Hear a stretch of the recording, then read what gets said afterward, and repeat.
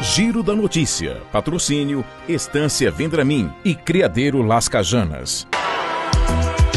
A Associação Brasileira de Criadores de Cavalos Crioulos informa aos criadores que, devido aos feriados de final de ano, não haverá expediente nos dias 26 de dezembro e 2 de janeiro, ambos na sexta-feira. O atendimento na entidade retorna normalmente na segunda-feira seguinte a cada feriado a partir das 8 horas da manhã.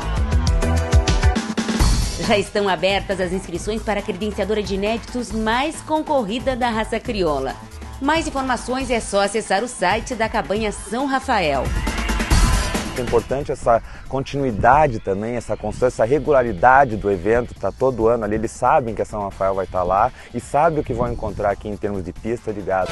Em 2015, apenas animais nominados vão participar do Potro do Futuro da NCR. Os proprietários inscrevem os cavalos no programa e os valores são revertidos em premiação. Na edição deste ano, 100 mil reais vieram desse projeto.